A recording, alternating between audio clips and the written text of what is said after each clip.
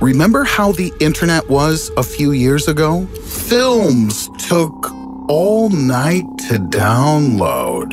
Social network pages took several minutes to update. Online games froze terribly.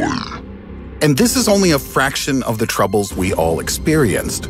Today, technology is on a completely different level, and the internet is no exception. Despite the fact that it's already quite fast, I've come up with one question. What would happen if we sped up the internet to infinity?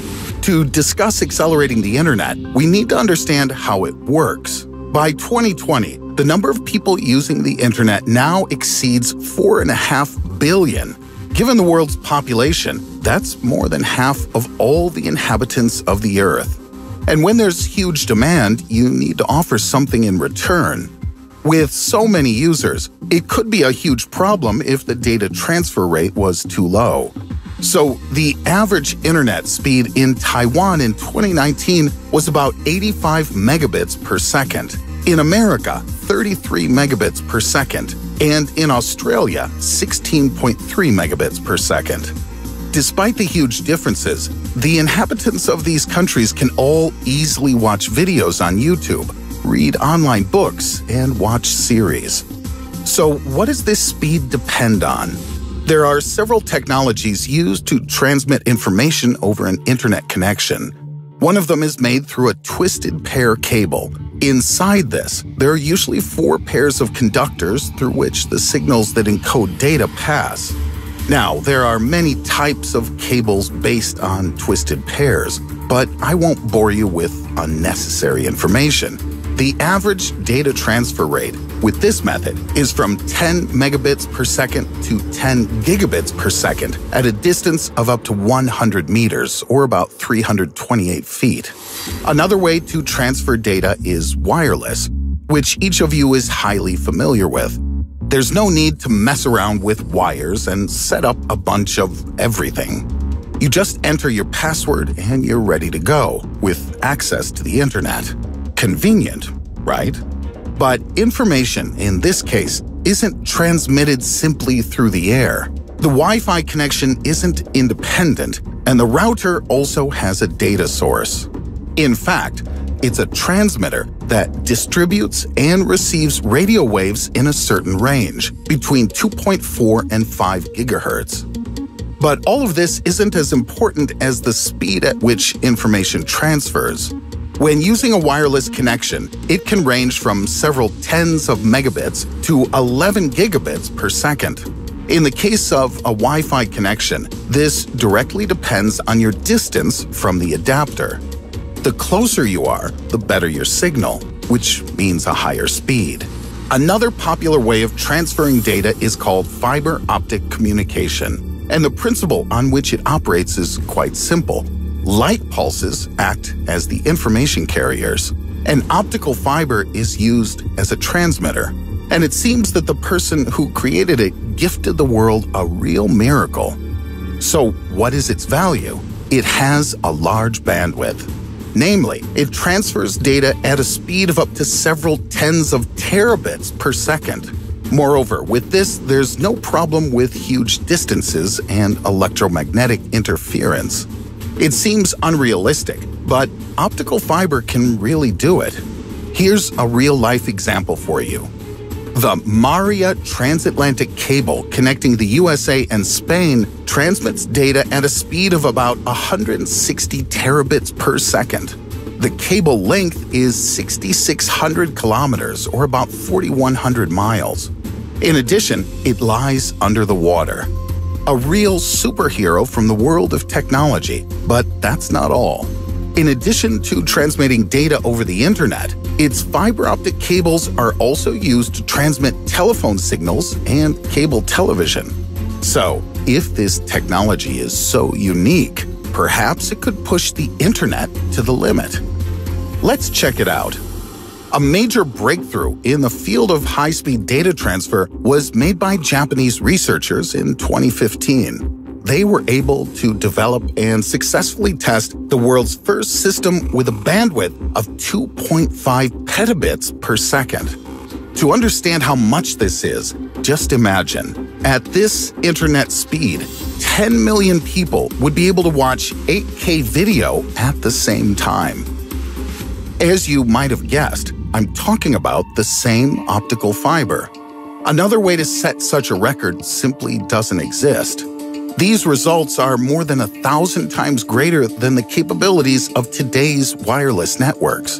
Of course, such technologies aren't created quickly. Scientists spent four years on its development before presenting the results to the public.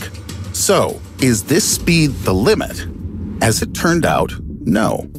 The same Japanese scientists, together with KDDI and Sumitomo Electric Industries, achieved a data transfer speed of about 10 petabits per second, or 10 to the 16 bits per second.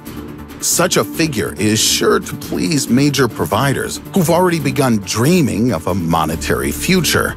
But just imagine the joy of ordinary people. Endless traffic, round the clock TV shows, games with zero latency. But wait, the results obtained thus far are still only experimental, and they're unlikely to reach our home internet in the near future. But what did they do with the optical fibers to achieve such a high data transfer rate? To start, let's determine what this optical fiber is all about. In a broad sense, it's a thread of transparent material that carries light within itself. Single mode optical fiber has one channel, and it can only pass one ray of light through it at a time. But there's another type of fiber, multi-mode optical fiber, and through this, several separate rays of light can pass at the same time. To fully understand this process, let's imagine lines of different colors. Each of them is a separate light stream. If you run them through multi-mode optical fiber, they'll travel internally and independently of one another. It's like if you and your neighbor lived in a multi-story building on the same floor, but would go down on opposite sides of the stairs. In this way, in a single fiber, bandwidth can be increased. Different information streams are transmitted independently of one another. Internet speeds increase. In practice, optical fibers can receive a large number of light rays, up to several hundred. It was in this way in 2012 that Japanese specialists managed to achieve a speed of 0.1 petabits per second. Using Netflix as an example, such a speed would allow 5 million people to use the service at one time. However, this isn't the technology that will accelerate the internet to 10 petabits per second. Something else is needed for this. To increase the speed of data transfer, it's necessary to increase the bandwidth of the optical fiber. And to increase this, you need to increase the number of optical channels, right? This can be achieved by increasing the number of fibers in one cable. In theory, this seems incredibly simple. But scientists have been working on this technology for years, and therefore there's still more work to be done. But back to our 10 petabits per second. According to the technology that I've been speaking about, this type of data transfer rate has been implemented, and today it's the ultimate one.